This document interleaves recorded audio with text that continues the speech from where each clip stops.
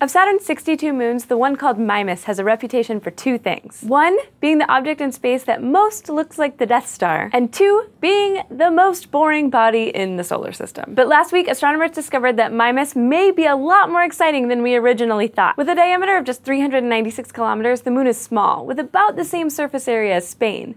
And apart from its super laser-like Herschel crater, it looks pretty unremarkable a near perfect sphere with no sign of geological activity. But as we all know, sometimes the most normal looking things, or even people, are actually the weirdest. That's what a team of astronomers led by Cornell University learned when they used a technique called stereophotogrammetry to study Saturn's moons. They used hundreds of images taken by NASA's Cassini spacecraft at different times and from different angles to create precise 3D maps of the moons and their orbits. And they realized there was something weird about Mimas. It had a libration, or a wobble. As a moon rotates on its axis, the gravitational pull from its planet is more or less constant, but if one side of the moon is more massive, that side will get a little extra pull when it faces the planet, creating a wobble, like a lopsided top. The thing is, despite its giant crater, Mimas is mostly symmetrical, but because it has this wobble, it must not be as symmetrical as it looks. So astronomers figured the difference must be under the moon's surface. Using computer models built around the exact same size and nature of Mimas's libration, they came up with two possible explanations. One is that Mimas's dense core isn't spherical, but is elongated, kind of like a rugby ball. The core could have formed this way if Mimas had originally taken shape when it was much closer to Saturn,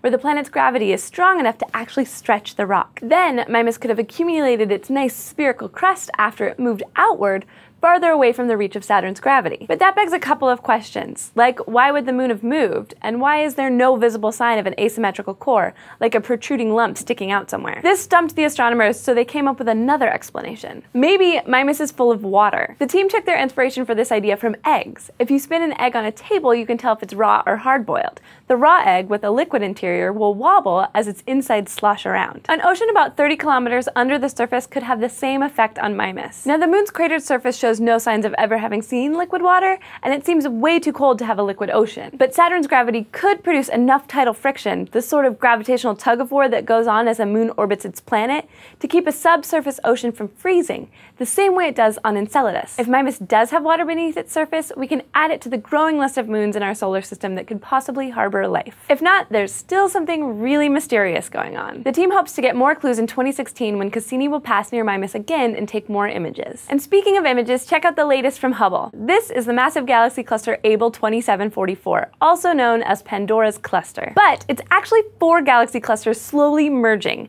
tens of thousands of individual galaxies with a combined mass of about a thousand times that of the Milky Way. It's so huge that it literally bends light. Thanks to a German patent clerk named Albert Einstein, we know that matter warps space and time around it, the way a ball creates a dimple in a bedsheet. So an object with enough mass can bend the light that's traveling through the space that surrounds it, creating the effect of a lens, curving light around the object and focusing it, more or less, on the other side. This we know is gravitational lensing, and it's how Pandora's cluster serves as a kind of magnifying glass to see far into space. And it's also what led to an exciting surprise in this image, the discovery of one of the most distant galaxies ever detected. Far, Far beyond Pandora's cluster, about 13 billion light years away, this newly found galaxy is about 500 times smaller than the Milky Way. We can only see it in this picture because Pandora's cluster magnified it to look about 10 times larger and brighter. Since the light from this galaxy has taken 13 billion years to get here, this image is really a peek into the distant past shortly after the Big Bang 13.8 billion years ago. So the small, fuzzy blob you see here may be what galaxies looked like when the universe itself was young. Thank you for watching this episode of SciShow Space News. If you want to make sure you keep up with the latest events around the universe, check out subbable.com slash scishow to learn how you can help support us.